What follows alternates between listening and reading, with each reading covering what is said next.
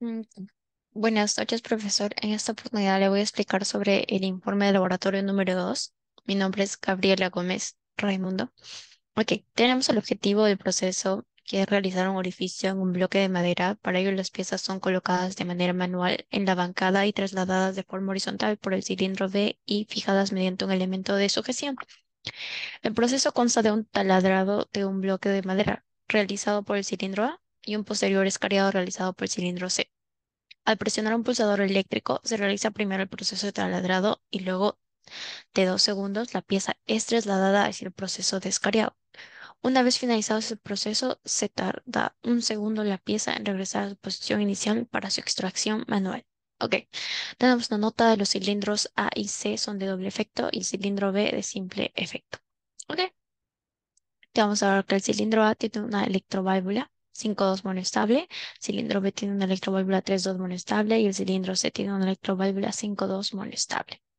Ok, el avance tanto el taladrado como el escariado se realiza lentamente y se retorna a velocidad normal. Incluir sensores magnéticos, ok. Tenemos el bosquejo, en el cual tenemos acá el cilindro A, que va a realizar el taladrado de este objeto de madera y posterior el cilindro B para realizar el empuje o el traslado para obtener que el cilindro C realice el escariado en esta madera. Ok, ahora vamos a presentar el Fluid Sim.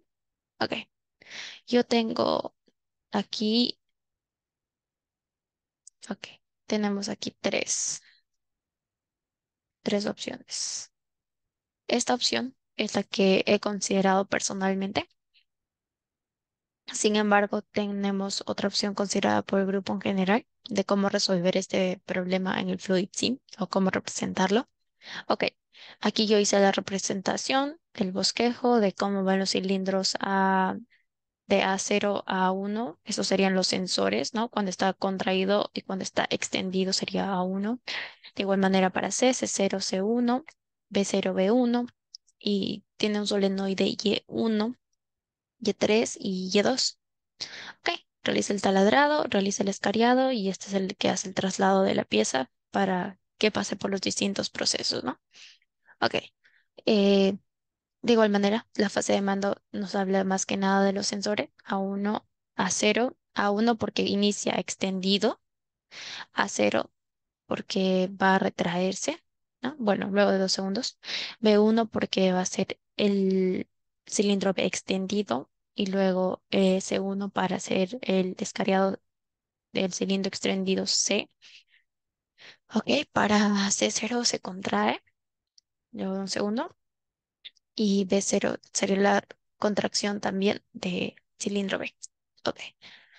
Eh, ok. Podemos explicar también que las fases de potencia para el solenoide Y1, este que va a activar al cilindro A, va a depender de K1, bueno, el relé K1 y el relé K3. Para el solenoide Y2, va a depender de la activación para B, va a depender de los relés K4 y K5. Para el solenoide Y3 tenemos a K5, el relé K5 y el relé K7.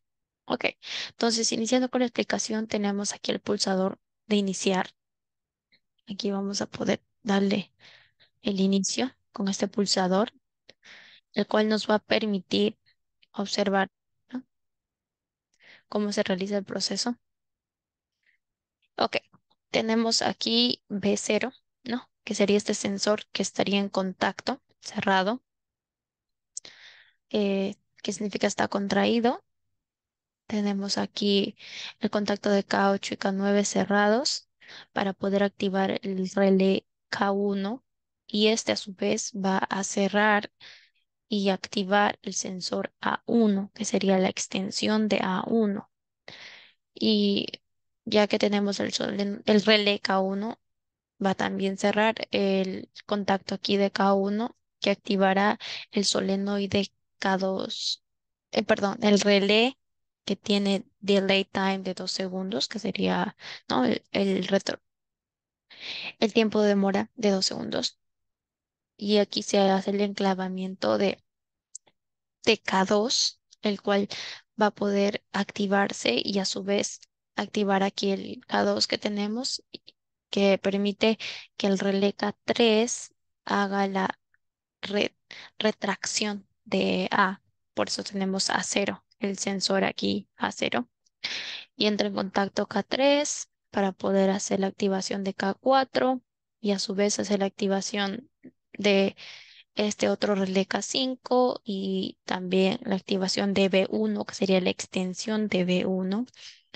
Y aquí esto va a estar cerrado gracias al relé. Tenemos nuevamente aquí, gracias a esta activación del relé K5, se va a cerrar el C1 que permitirá la extensión de este cilindro C1, ese, de esta extensión del cilindro C, que va a ser realizar el escariado y con el enclavamiento se permite conectar y activar el K7, el cual igual a su vez va a activar K5, K7 y el solenoide K8, que este a su vez no realiza la activación del, del el relé es contador de 5 para que se realicen 5 veces. Ok, y acá tenemos también los solenoides Y1, Y2 y Y3 con sus respectivos relés de activación. Ok, ahora voy a pasar a mostrar eh, cuál es el otro considerado por mi grupo que está aquí. Ok, con cinco repeticiones. Ok, nuevamente tenemos ¿no?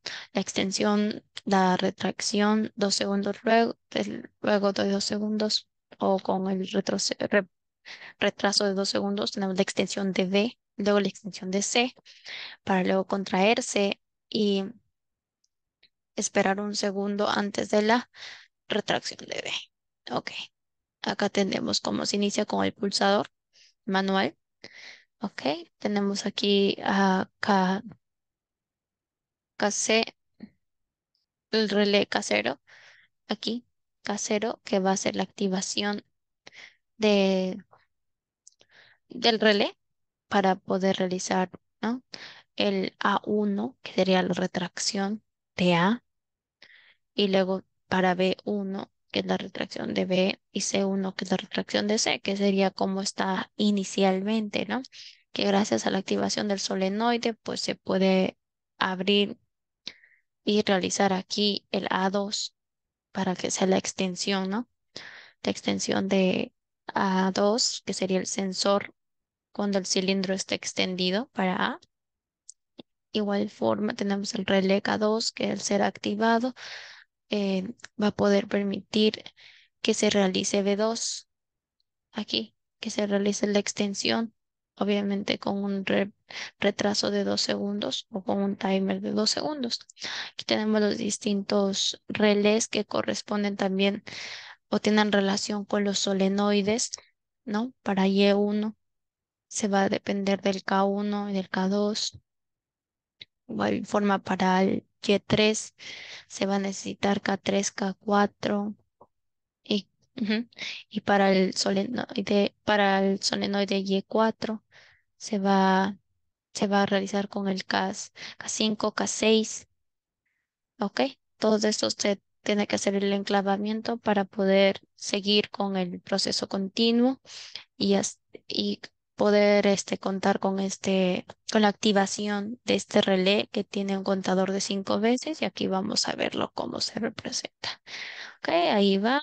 A hizo el trasladrado, B hizo el traslado, C hizo el ascariado, nuevamente A, luego pasa B, luego C, se retrae B, luego de un segundo, pasa A, espera dos segundos para que B se extienda, luego C es el escariado y así sucesivamente se puede realizar.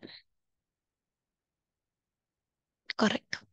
Aquí podemos ver que va a ir disminuyendo el tiempo, el contador. Ya estamos en cero.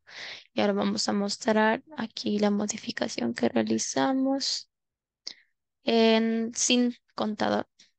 Ok.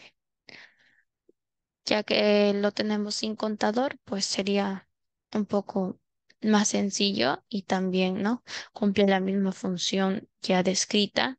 Gracias al pulsador vamos a poder activar los distintos relés que van relacionados a los solenoides de cada cilindro.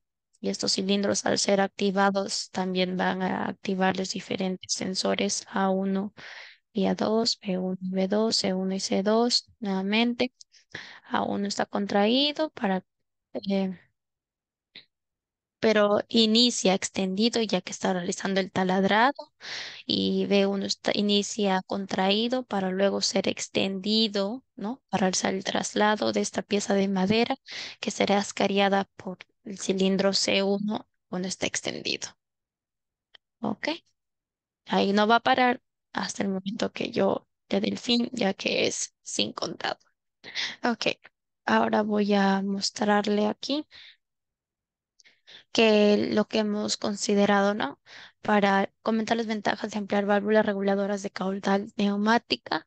Tiene un amplio rango de aplicaciones. Estas válvulas son versátiles y utilizan una amplia variedad de aplicaciones, desde la regulación de la velocidad en cilindros neumáticos hasta el control de presión en sistemas de neumática. Su versatilidad las convierte en una opción valiosa en diversos sectores industriales. También el mantenimiento es sencillo, como si usted lo mencionó en alguna clase pasada. La eficiencia energética, al permitir un control preciso del flujo de aire, estas válvulas ayudan a optimizar el consumo de energía en sistemas neumáticos. Y la compatibilidad con sistemas automatizados, que se relaciona 100% al curso, son compatibles con sistemas de automatización y control de lo que facilita la integración en líneas de producción y procesos industriales automatizados. Ok, muchas gracias. Esto sería todo.